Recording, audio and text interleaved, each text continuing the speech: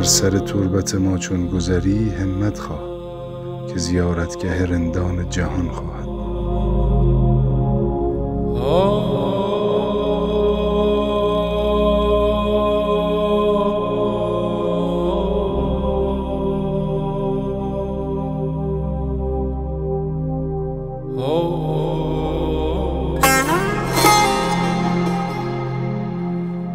دلبستن یک سختی هایی دارد و دلبریدن یک سختی هایی تو گاهی به هزار مصیبت محبوب را سر راه می آوری و اجازه می گیری دوستش داشته باشی و گاهی محبوب حکم می کند از هر چه غیر من دل بکن و دل ببور که همه چیزت من باشه.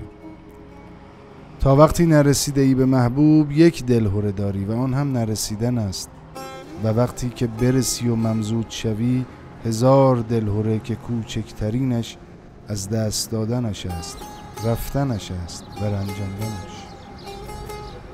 امروز بر مزار بزرگی حاضر شده ایم که فخر تهرانی است.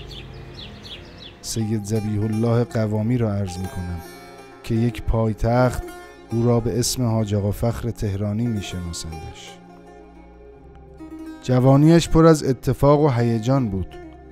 خوش سیما بود و هوش بسیاری داشت. با روبونه بسته بود برای رفتن به فرنگ. بورسیه و تحصیلات تکمیلی و دانشگاه همه کارهایش را کرده بود. روز رفتن به پرواز نمی رسد و از سفر جا می ماند انگار بنده چیزی را اندیشیده بود و پروردگار چیز دیگری مقدر کرده بود. جناب حافظ گفتند که نام من رفته از روزی بر لب جانان به سهو. اهل دل را بوی جان می آید از نام من. البته جانان که سهو ندارد. نام من رفته از روزی بر لب جانان به لطف. مرحوم آقا فخر تهرانی که امروز توفیق زیارت مزار ایشون رو داشتیم. اینکه عطر وجودش مشام همه اهل الله رو در همه جا شاد کرده. خوشحال کرده سرمست کرده. مال این است که یه وقتی مرحوم آیت الله عظما بهاءالدینی خبر آورد که در جلسه ای امام زمان علیه السلام به نیکی از ایشون یاد کرده است. خودش صاحب مقام تشرف بود اما اینکه در نبود امام زمان ارواح و نافدا از او یاد بکند خب او حساب دیگری است. جهتش هم این بود که ایشون خدمت صادقانه و بیچون و چرا به مادرشون انجام می‌دادن.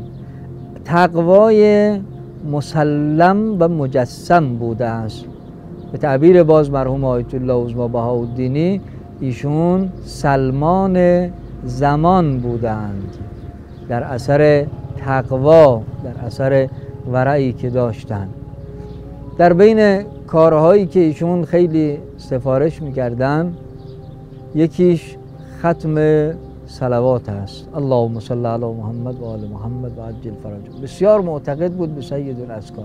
و خدا رحمت کنه عالم ربانی مرحوم آجا مسلم اسماعیلی رو این شاگرد خلف و پیرو واقعی ایشون که این سنت حسنه رو هم ادامه دادن. زاهد به معنای واقعی عابد به معنای واقعی و عاشق به معنای حقیقی بود.